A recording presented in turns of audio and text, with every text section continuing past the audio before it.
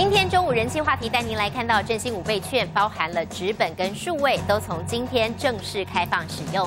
彰化县鹿港商圈有三十多家小吃店联合推出优惠，最高可享八折。行政院主计长说的一碗鹅阿米索只要二十块钱，来到鹿港使用五倍券，有机会吃得到。另外，不少店家还推出了伴手礼买一送一，希望可以在国庆廉价吸引更多游客前来。但如何避免收到假的五倍券，以及是否开放找零或是加装数位支付的设备呢？小吃店家都还在仔细评估。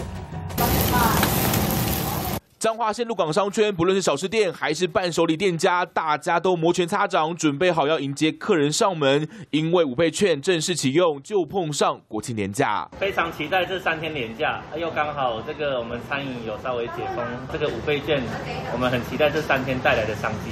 受到疫情影响，前几个月配合防疫，业绩真的很惨淡。如今国内防疫持续松绑，再加上中央发放振兴券，商圈也加码推出优惠。像是行政院主计长说的，二十元吃一碗俄阿米刷，民众来这里有机会吃到。使用五倍券消费，包含小吃美食，最高可享八折；伴手礼还可以买一送一，要趁廉价抢商机，可以把钱变得更多。这个商圈对我们游客是非常有善意的，五倍以上的最起码。的一个消费金额了，也就大概到两千到三千万的这样的一个呃商机。但还是有部分业者担心会收到假的五倍券，还有找零等问题，因此没有参与活动。担心说会去收到假的五倍券，因为我们这是小生意而已，小吃店，就对我们来说两种都对我们来讲，呃，有一点麻烦。这回政府大力推广数位券，也让不少业者考虑要加装数位支付设备。除了吸引饕客来消费数位五倍券，更是看好未来疫情结束后，